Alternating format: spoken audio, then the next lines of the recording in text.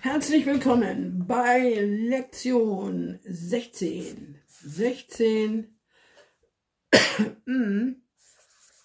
Lektion 16. Machen wir nochmal das hier. Lektion 16 hat ein kleines Problem, nämlich das I. Das I das wir auch gerne nur als einen Strich darstellen. Das finde ich dem I gegenüber absolut unangebracht. Also, ne, man ist ja ein I, ein Name beginnt nicht nur mit einem Strich. Da müssen wir uns das ausdenken.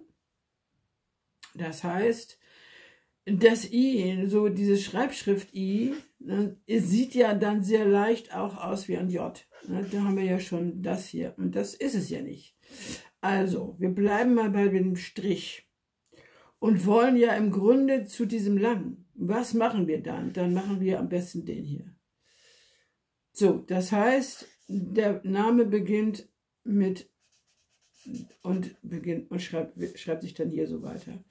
Also es ist ein bisschen problematisch mit dem i. Man kann natürlich dann freundlich noch einen kleinen Punkt draufsetzen, obwohl das natürlich der Punkt des kleinen i's ist. Aber wenn man egal was man macht mit dem I, äh, man kommt immer in die J-Nähe und deshalb würde ich vorschlagen I und ich würde, ich, ja, ich, ne? also jetzt nur ich, sonst niemand, steht für diesen Punkt. Also, ne, wenn ich jetzt zum Beispiel, ähm, wie heiße ich zum Beispiel, äh, Ismail.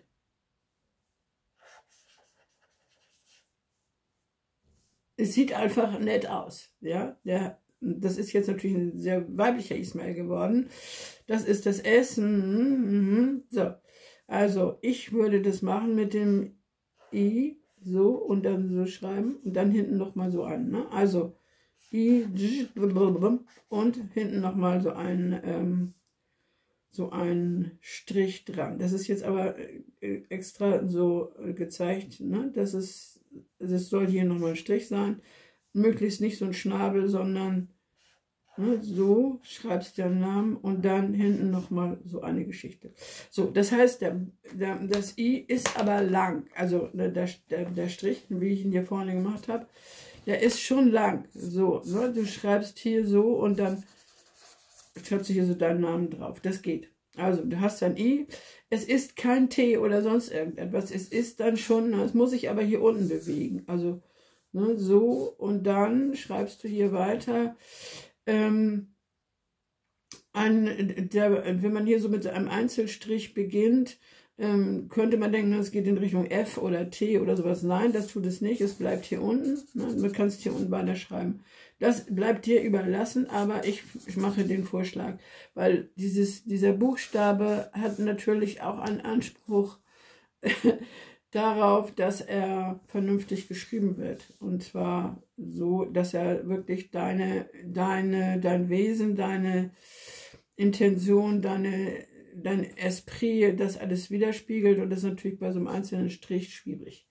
So, also, ne, du heißt jetzt mal, wir wollen ja nicht immer mit dem Igel anfangen, du heißt vielleicht jetzt Ingwersen oder so, ne, I und wie willst du jetzt hier Ingwer, N, das, wie sieht das denn aus? Also, ne, das ist ja schon Ing, Ingwersen. Also, da brauchen wir einen Anschluss. Das ist immer ne, die Geschichte mit dem Anschluss. Entweder so und schreibst da hinten weiter dann nehmen wir die zur nächsten Seite. So, also nochmal, es ist das I. Äh, der einzelne Strich und entweder schreibst du dann hier weiter oder so und dann hier nochmal so. Mein Stift ist langsam leer, der geht jetzt über den Jordan. Auf Wiedersehen. So, das heißt, ne, nochmal so solche Geschichten. Aber nie einzeln und dann so. Also so, jetzt geht es ja gerade noch, also weil ich hier so, ein, also einen hinhaue.